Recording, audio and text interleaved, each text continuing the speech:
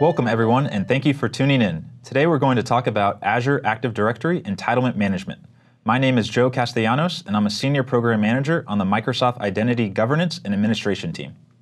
And my name is Hana Kim, and I'm also a Program Manager on the Microsoft Identity Governance and Administration team. Today we'll be talking about what entitlement management is and how it works.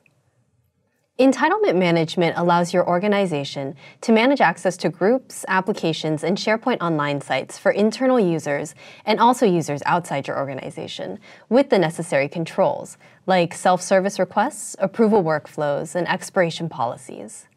Entitlement management does this by creating and managing access packages, which are collections of different resources grouped together to be requested in one go. So Hana, if a new person joins a team and starts working on a project, what are all the things that person needs to be productive? They might need access to some applications, SharePoint sites, teams, groups, a bunch of different things. Does the person joining know what they need?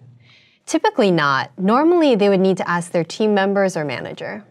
Assuming the new person knows what they need, do they know where to go to get it? Likely each resource the new person needs is going to have its own request process. For example, they might need to go to a service portal, call the help desk, or ask their manager. So how can we make this whole process simpler and easier? As we talked about earlier, you can use entitlement management to create access packages for all the resources needed for a given project or role. With these access packages, when a new person joins, they can simply go to one place and request a single item to get everything they need without having to know the actual individual resources.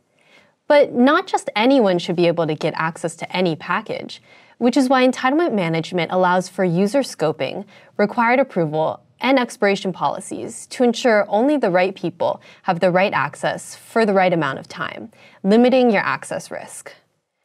Now, what if that same project needs to partner with a different organization, like Contoso? Well, previously, you would have to know who from Contoso was working on the project, individually invite each person, and then grant them access to each resource as needed. With entitlement management, you can use the existing package and simply update it to allow for users from Contoso's directory to self-request for the project's package.